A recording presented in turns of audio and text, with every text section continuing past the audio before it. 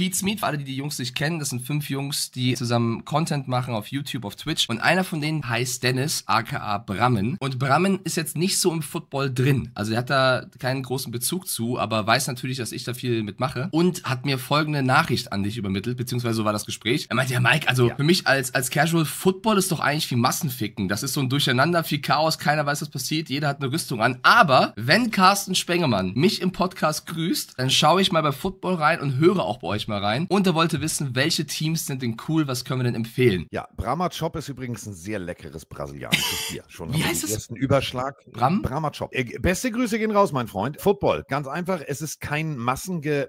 Digga, ich weiß nicht, wie du da, also Sigmund Freud hätte jetzt an deinem Gedankengang eine helle Freude. Ein Footballfeld ist kein Swingerclub.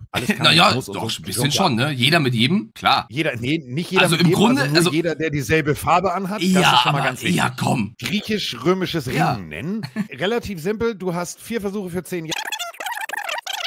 Mehr. Das war jetzt die NFL-Erklärung für Anfänger. Tu mir einen Gefallen, auch wenn du ein guter Freund von Mike bist, lass dich nicht in diese äh, Patriots-Nummer mit rein äh.